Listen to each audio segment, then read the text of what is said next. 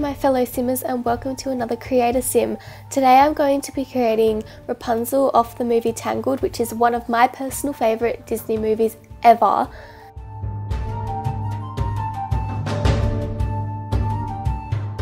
So as you probably know Rapunzel has big big eyes in the movies and she also has very thin lips. I struggled to get these right and looking back on it now I think I could have done a little bit better.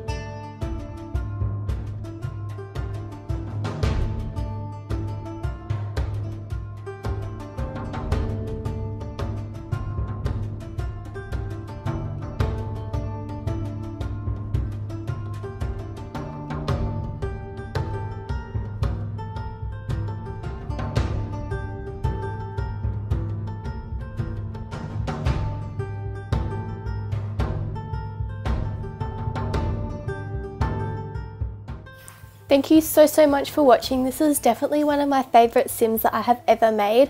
I think she is just absolutely gorgeous. All of the custom content that I used will be linked in the description down below. Have a wonderful day guys. Bye!